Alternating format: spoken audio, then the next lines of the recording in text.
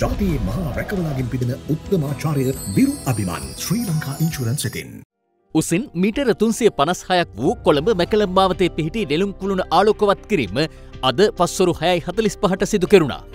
මේ ඔබ දකින්නේ නෙළුම් කුළුණ ආලෝකවත් කිරීමත් සමඟ කොළඹ නගරේ ලබගත් ද්‍රෝණ දර්ශන පෙළක්.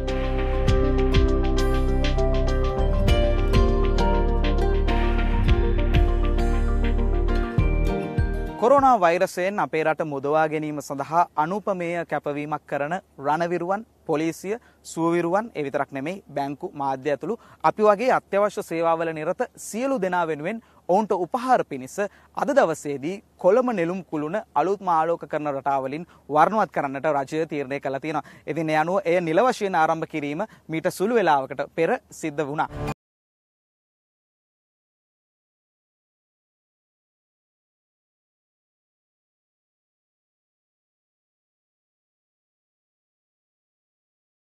හැපි බර්ත්ඩේ එක අපේ නම් පදම වරුනේ